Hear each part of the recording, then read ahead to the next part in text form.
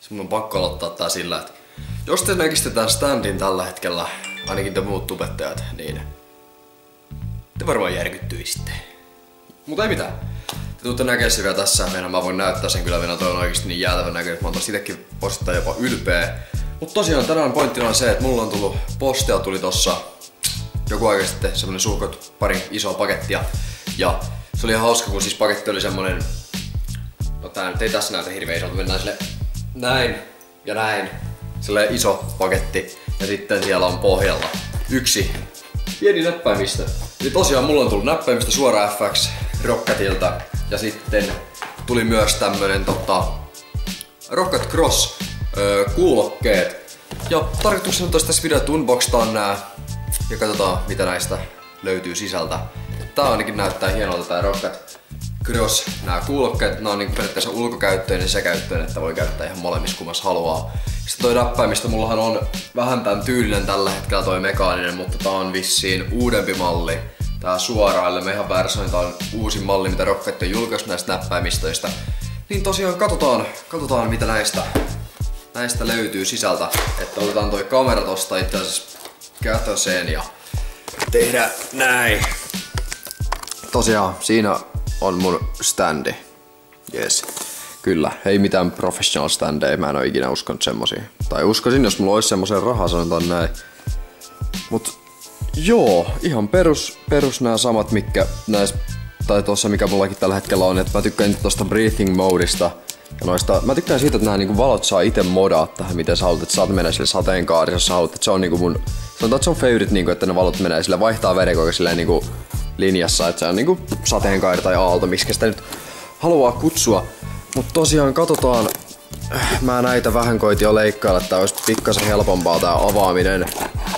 Niin, niin toivotaan nyt ainakin. Ja tää valaistuskin pitäisi olla ihan ok, että ollaan tässä kumminkin niinku ikkunan äärellä, jos näin vois sanoa. Katsotaan nyt, mikä täällä pitää kiinni, että tää ei mene enempää taita. Hankala. Katsotaan. Eli ihan perus mustan näköinen ainakin tässä paketissa. Tosin tältä nää näyttää kaikki. Mutta yksi mikä mua tässä eniten houkuttelee kanssa tässä on tosiaan nämä ruskeat mekaaniset näppäimet. Ellen ole ihan väärässä. Tää ei pidä liikaa ääntä, mutta tää on silti tää mekaaninen tää tatsi tässä. Tää on nyt tässä varmaan, tää on hiukan pienempi kuin toi mun tähänkin näppäimistä, mikä on niinku itse asiassa ihan täydellistä, koska mun tohon pöydälle ei mahu niinku toi tähänkin näppäimistö ihan täysin. Niin tää pitäisi mahtua, että ei kumminkaan on niinku hirveän, niin se mitä mä nyt sanoisin, ehkä varmaan semmoista reippaat 30 senttiä voisi olla about tää. Tai joku 40 senttiä varmaan pitkä tää tää. Tai leveä tää näppäimistö. Että on, on kyllä jees. Mä en tosta sen enempää nyt en pysty kertoa itse toi. Toi on muuten rähä. Mä huomasin nyt vasta. Tohon tehty toi Rockatin logo näköjään. Toi, eikö toi, toi on toi Windows Homebar? Mutta en tiedä, pääsisiköhän tolla myös siihen Rockatin omaan sovellukseen, koska Rockatillahan on semmonen sovellus näistä näppäimistössä, mistä näitä pystyy sitten modaamaan sillä niin että värimaailmaa, mitä niihin ikinä haluaakaan laittaa. Katsotaan, me ei saada sitä järkevämmin enää pakettiin. Mut joo, laitetaan se erittäin, erittäin siisti. Tulee kyllä mulle käyttöön toi näppäimistä, että pitää kokeilla, että jos se olisi vähän parempi. Jaha, tätä mä en sitten muistanut avata. Jos toi olisi vähän semmonen sanotaan ns pienempi kuin mikä mulla on tällä hetkellä käytössä. Tarvinkohan mä tähän malvakkariin? Mulla on tässä tällä hetkellä sormesta tommonen pieni paketti.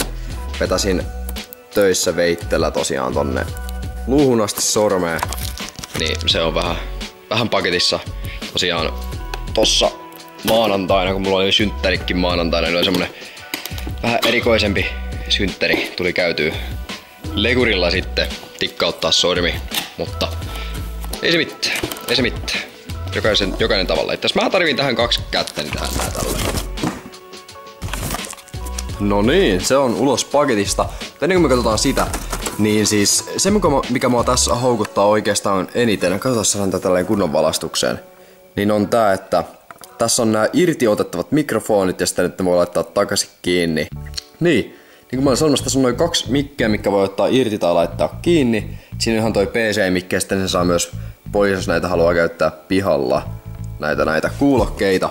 Mutta katsotaan nyt sen paremmin. Täällä on aina toi perusohjekirja. Ja mikäs tässä? Aa, siinä on peruskaapeli tai noin kaapelit, mikä tohon kuuluu. rokkahan meillä on tää väärinpäin. Väärinpäin kädessä tietysti. Ja sitten tässä on nää rokkat. Ah, siinä oikein lukee rokkat. No on itse asiassa pehmeän tuntuista. Mun on pakko kokeilla näitä päähän ihan nyt heti. Et laitetaan tää kamera takaisin. Takas tähän. Jes, se on siinä. Katsotaas. Kyllä nää sille vähän, vähän hennon tuntusta on, mutta kyllä varmaan tekee työnsä ihan, ihan hyvin.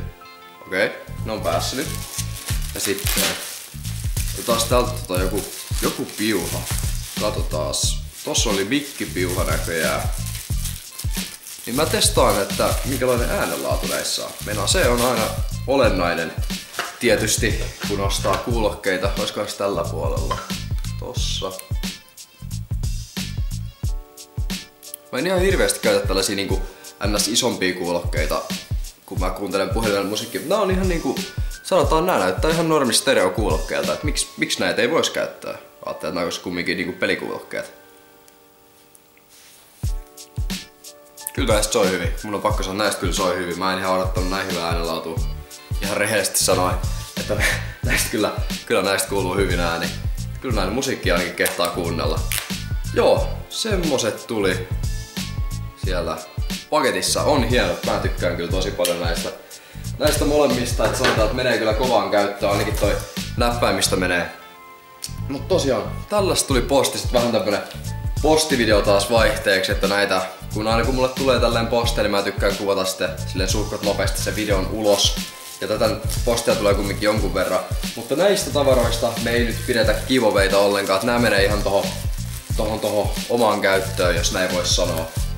Ja ja, sitten mulla on tuolla vielä pari tavaraa ylimääräisenä, niin mä ajattelin, että ne me voitais sitten jakaa pois jossain kohtaa, mutta ensiksi pitää se mikki keksiä. Mä oon sille mikille itse keksinyt ihan suhkot hyvän giveaway-tavan, ja se tulee sitten erilliseen videon kanssa, niin se levennetään siinä vähän vielä paremmin, mutta siinä voisi olla näin, kaikki ihmiset, kun osaa käyttää Photoshopia tai tällaista, niin teillä on hyvät chanssit voittaa se kilpailu. Kaikki, ketkä ei osaa käyttää, niin teillä on hyvin aika opetella käyttää Photoshopia.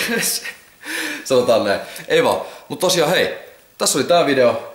Tällaista tuli tällä, tällä kertaa. Ja katsotaan sitten vielä tyylin striimissä, jos mä joku päivä tässä striimailen tota näppäimistä vielä paremmia kuulokkeita, miten ne kuuluu. Mut hei, ei mulla muuta. Mennään ensi videossa. Se olisi vaan morjes. Ja muistakaa tykätä videosta.